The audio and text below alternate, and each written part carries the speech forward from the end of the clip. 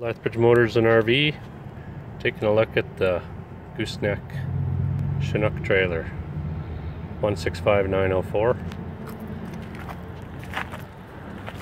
it's a 26 plus 5 beaver tail. So it's toolbox in the front double landing gear. Nice step on the side payload of 13,830 pounds. It's got stake pockets all the way down with the rub rail. Bridged frame, mud flaps. These ones are 10k axles for oil bath. It's got the spring assist ramps.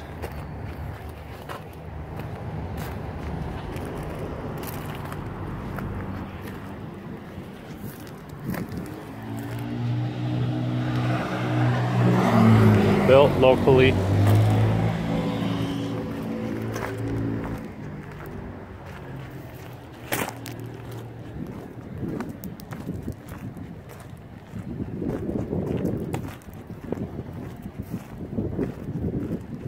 That is the Chinook 26 plus 5 gooseneck.